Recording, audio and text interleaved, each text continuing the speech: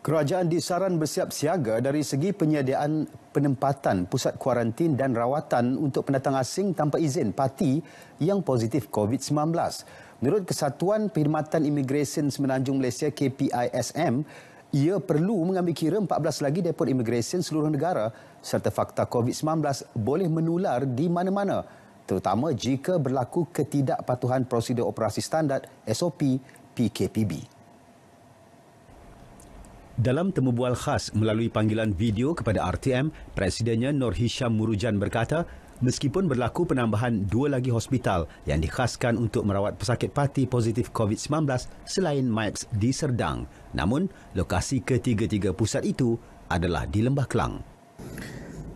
Uh, bagi penempatan kepada parti-parti yang telah disahkan positif uh, COVID-19 uh, buat masa kini dari segi geografinya uh, kami merasakan tempat ini uh, adalah mencukupi.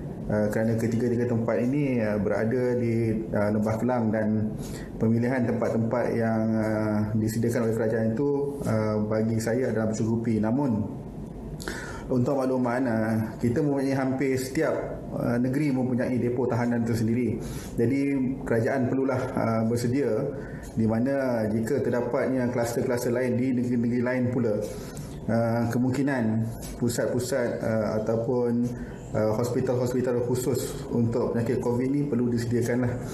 Nur Hisham yang juga Ketua Imigresen Pelabuhan Tanjung Pelepas Johor memaklumkan majikan perlu tampil membantu kerajaan dengan memberi maklumat yang benar tentang keberadaan pekerja asing mereka.